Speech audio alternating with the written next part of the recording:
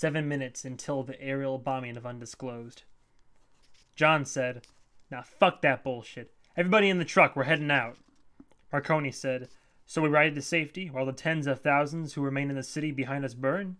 And then what? We drive out across the buffer zone outside those barricades, and a few miles later you will meet another larger barricade manned by the U.S. military.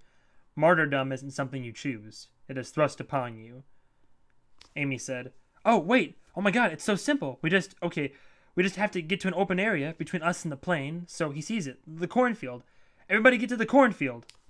To John, she said, Get on the, uh, the speaker thing in the truck. Tell everybody to go to the cornfield.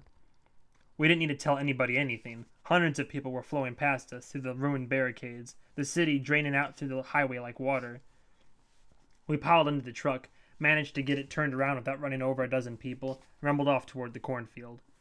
On the way, Amy said, The plane! Oh god, I can't believe I didn't think of this. It's flying low, under the clouds. We can see it, so it can see us. I don't understand how that. The pilot thinks we're zombies. We just have to show them we're not.